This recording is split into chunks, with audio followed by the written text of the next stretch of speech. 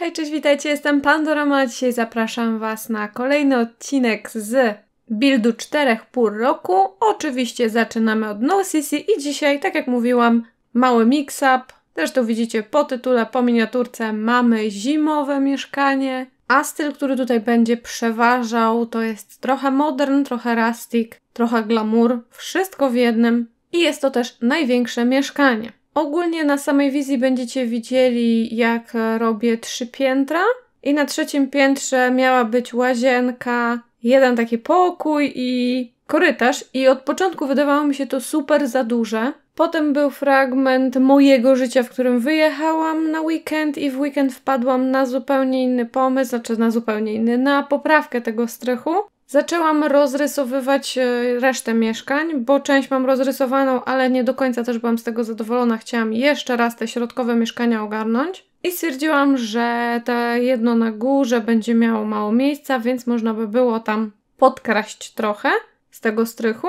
Także tam na wizji będziecie mieć więcej tego miejsca, ale ja później po odcinku to poprawiłam już w wersji z modami nie będzie to też tak wyglądać, tylko już od razu będzie tam ten nowy pomysł. Jeśli chodzi o samo mieszkanie, kolorystyka jest głównie czarno-biała, odrobina szarości, odrobina bardzo ciemnego brązu. To, co było najtrudniejsze, czyli roślin jest stosunkowo mało jak na mnie. Starałam się jak najmniej, bo jednak jest to zimowe mieszkanie, więc ono raczej składa się głównie z jakichś takich suchych wiechci, jakichś suchych, sztucznawych kompozycji i na tym konkretnie opiera się głównie.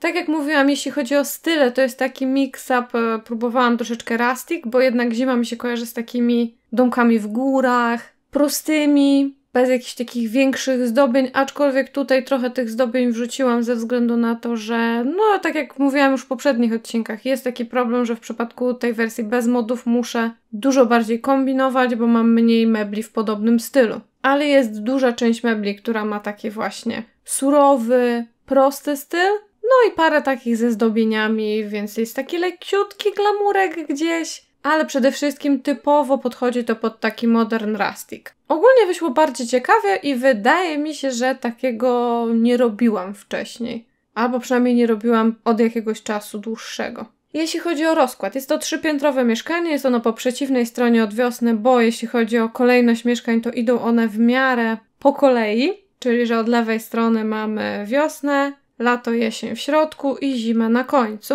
Na parterze będziemy mieć e, trzy pomieszczenia takie główne, cztery w sumie. Wchodzi się do tego mieszkania od tyłu. To jest taka różnica, bo w przypadku dwóch innych, znaczy reszty, o tak, trzech innych, mamy oddzielne klatki schodowe, które wchodzone są od przodu budynku, a w tym wypadku jest e, z tyłu wejście od razu z podwórka.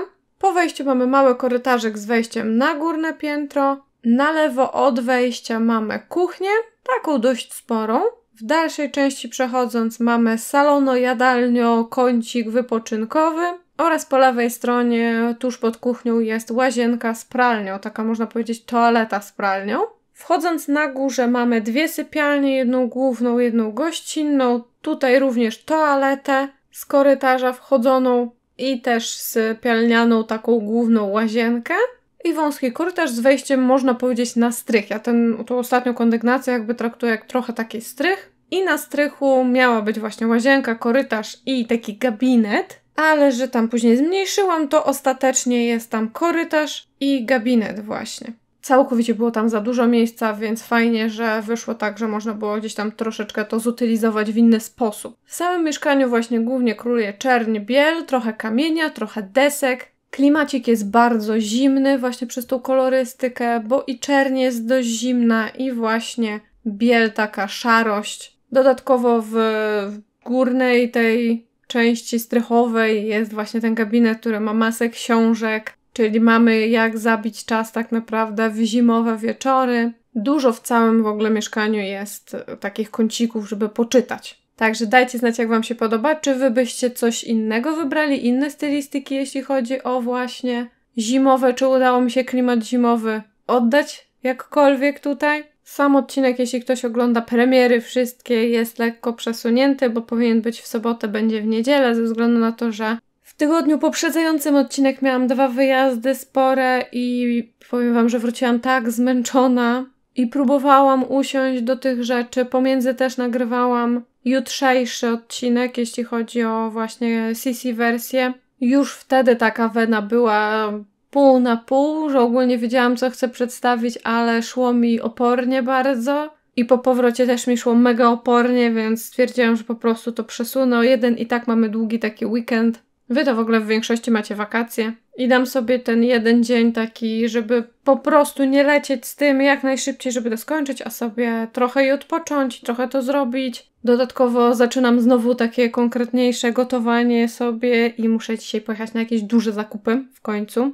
Także możliwe, że znowu mój Instagram, na którego zapraszam, będzie zarzucony foteczkami jedzenia, bo mam zamiar parę rzeczy powypróbowywać i coś ciekawego zrobić. A jeśli chodzi o sam kanał i w ogóle content jaki jest, mam bardzo dużo planów ostatnio. O ile z wyjazdu wracając wróciłam zmęczona, to na wyjeździe wymyśliłam parę rzeczy, które gdzieś mam nadzieję uda mi się wcisnąć. Wam jakichś takich też mniejszych miniseryjek, większych serii. Oczywiście też jestem w trakcie dopracowywania całej serii świątecznej, na społeczności powinna być ankieta, jak wy to oglądacie, a propos tego, czy seria świąteczna ma być stricte bez modów, czy interesuje Was też content z modami, bo zauważam, że mody Maxis Match dużo, dużo, dużo bardziej Was interesują nawet niż sama gra. Znaczy jest to bardzo często porównywalne, ale nadal lepsze wyniki osiągają Maxis Matche. Oczywiście dla osób, które uwielbiają bezmodowe wersje, nie bójcie się, na pewno nie będzie tak, że to wszystko będzie znowu tak jak wcześniej miałam fazę i cały czas była tylko alfa, alfa mody i nic poza tym. Bo jestem mega zadowolona z tego, że udało mi się jednak gdzieś tam przełamać tą barierę jednego kontentu i przejść tylko z modów na wersję tylko no CC.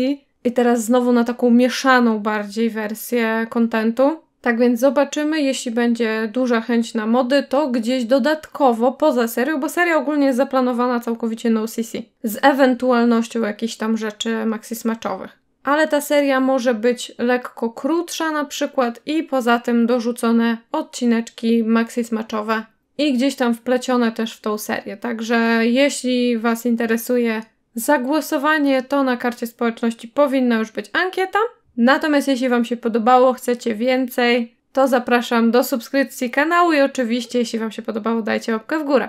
A ja nie będę przedłużać, bo przez to, że i sama jestem w takim zmęczonym stanie, nie chcę Wam przynudzać, ale i samo nagranie było stosunkowo krótkie, dużo lepszą zabawę i część miałam po nagraniu, kiedy to wszystko poprawiałam, doprawiałam. Tak więc jak zawsze zapraszam na koniec na foteczki, jak ostatecznie wygląda mieszkanie. Dajcie znać w komentarzach, jak Wam się podoba, jaki Wy styl byście przyjęli, jeśli chodzi o zimę. No i oczywiście, czy robicie takie same wyzwanie jak ja? Czy zrobiliście sobie gdzieś tam jakieś właśnie mieszkanka dla różnych pór roku? A jako, że zaczynam tracić głos, a muszę nagrać jeszcze drugi dźwięk, dziękuję za uwagę.